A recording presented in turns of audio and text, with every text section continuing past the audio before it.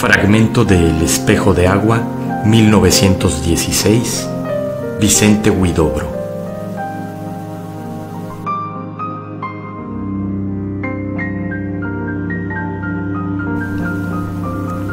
Que el verso sea como una llave que abra mil puertas.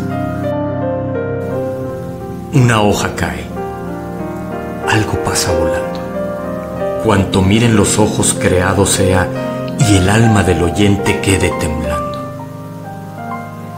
Inventa mundos nuevos y cuida tu palabra. El adjetivo, cuando no da vida, mata. Estamos en el ciclo de los nervios. El músculo cuelga como recuerdo en los museos, mas no por eso tenemos menos fuerza. El vigor verdadero reside en la cabeza. ¿Por qué cantáis la rosa, oh poetas? Hacedla florecer en el poema.